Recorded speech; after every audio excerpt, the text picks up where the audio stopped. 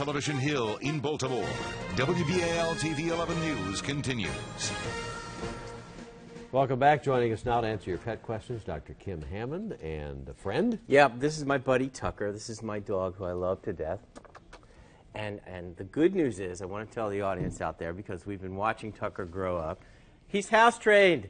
Woohoo! How long did it take? How long did it take? Uh, it took moving out of the house into a new house. No, Oh, just kidding. That's how we did it. No, no, no. It took you know it took a while Uh-huh. because you know Daddy's not the most responsible owner. He forgives too much.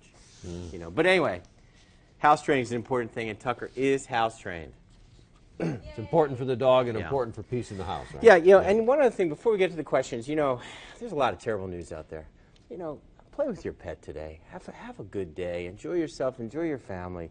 We're gonna get by all this stuff, but it's a it's a rough news day. Yeah, you got a dog like Tucker, it's great. Yeah, man, he's Great. a great dog. Our cat Princess is an indoor cat but suffers terrible allergies and wheezing. We got her steroids. Uh, she gets the shots about every three months and an antihistamine cream for her ears. Anything long term damage that can occur from all the steroid medication. Absolutely, there's things that can occur long term, and uh, but sometimes with some cats, we have no other no other treatment. It's almost inescapable. There are some viable alternatives. I would I would ask you to go talk to your veterinarian about some other medicines. There's a product called Atopica that we can try on cats that's reported to work and it's safer than steroids.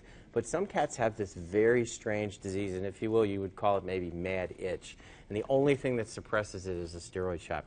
It's tough. It's a tough call. It's a hmm. tough call. Yeah. All right, our yellow lab puppy is chewing everything in sight. We've tried bitter sprays, creams, presenting toys and bones as alternatives. Nothing seems to work.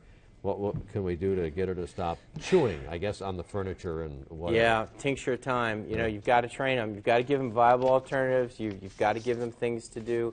Um, but they chew. They do it. They just do it, and that's part of having a puppy. So you kind of puppy-proof your house. But you know, part of owning a puppy is having something chewed up, a Right. chair leg or a Now, are, or are your some more prone? Uh, I, I understand uh, smart dogs, uh, breeds that tend to be a little smarter, uh, uh, uh, get bored, and then they do that kind of stuff. Yeah, perhaps, And but- labs are they? Perhaps, but you know, I mean, every dog is going to have that phase Nah. of chewing, particularly when they're puppies.